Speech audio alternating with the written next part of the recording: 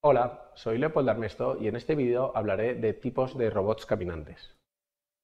En esta presentación eh, perseguimos varios objetivos. Primero hablaremos de las ventajas y desventajas de los robots caminantes frente a los robots con ruedas y luego introduciremos diferentes tipos de robots caminantes. Mostraremos diferentes modos de caminar, en concreto de los robots cuadrúpedos, y finalizaremos también con algunos ejemplos de dónde se aplican este tipo de robots. Bueno, eh, trabajar con robots caminantes tiene una serie de ventajas frente a robots con ruedas. Entre otras cosas, tiene una gran movilidad, tienen la capacidad de poder eh, superar obstáculos que están a diferentes alturas.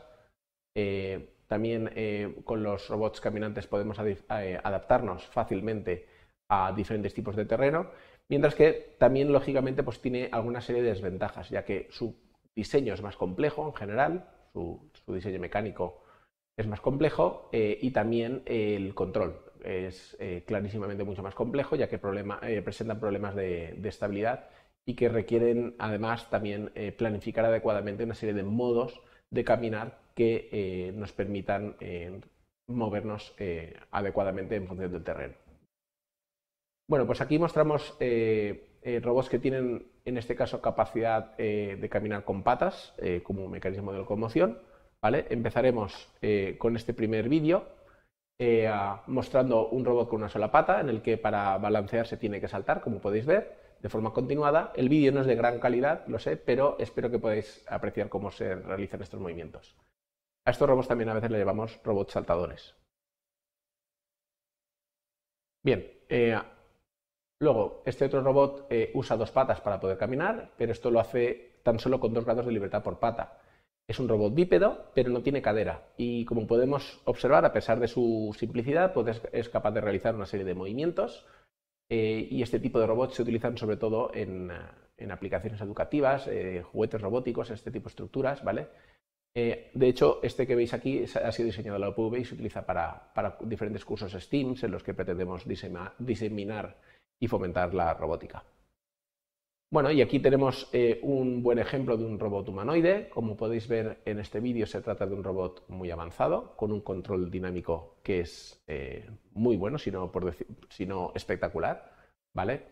Este, de hecho, este, este, los robots de, esta empresa, que es Boston Dynamics, eh, son muy conocidos en el ámbito de la robótica porque realizan demostraciones de diferentes tipos de robots con unas destrezas enormes, como podéis ver y bueno, la verdad es que podríamos pasarnos horas viendo eh, las virguerías que hacen estos robots. Bien.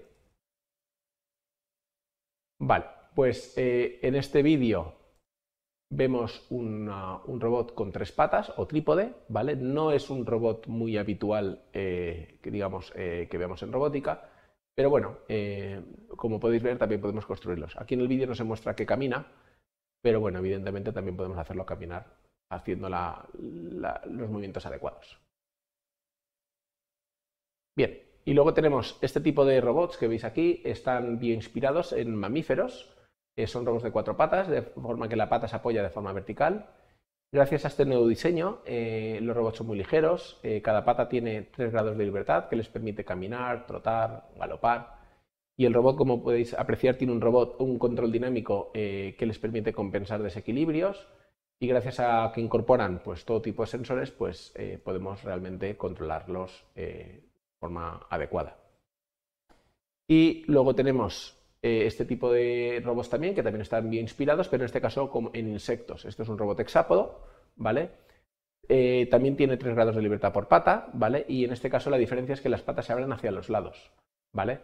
Eh, también tenemos robots con cuatro y ocho patas también, evidentemente. Bien. Vale, pues eh, los robots eh, caminantes tienen ah, diferentes modos de caminar, ¿vale? podríamos emplear una presentación entera explicando todo esto, ¿vale? Pero dependiendo del tipo de robot, tendremos que diseñar un patrón para la exposición de las patas.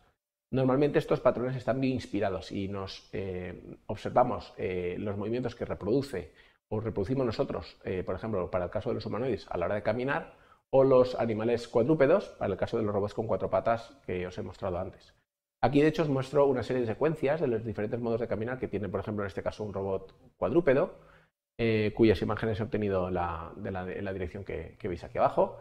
¿Vale? Y, ah, os muestro pues, eh, diferentes modos de caminar, como por ejemplo los tres primeros de la, de la columna de la izquierda, que, que representan un caminar o caminar suave, en los que hay siempre tres patas apoyadas y entonces estamos hablando en este caso de que tiene el, ah, el, objetivo de alguna forma es que el centro de gravedad del robot, la proyección de este centro de gravedad esté siempre dentro de lo que sería el triángulo formado por estas tres patas de apoyo. Y entonces esto tendría una estabilidad estática eh, eh, buena, ¿vale? Mientras que otros modos de caminar son mucho más complejos, requieren un control dinámico y apoyan una, dos o incluso en alguna ocasión, en alguna de las fases no apoyan ninguna pata, están en el aire.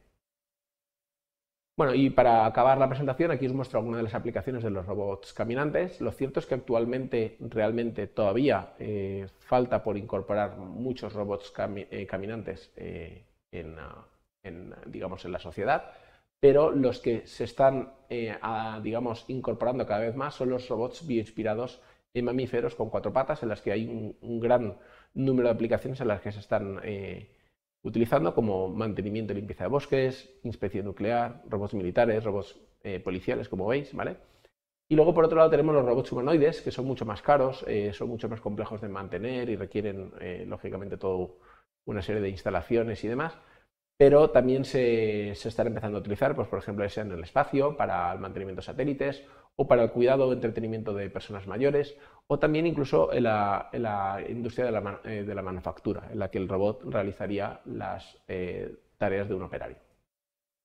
Bueno, pues en esta presentación os he explicado diferentes tipos de robots caminantes. Muchas gracias.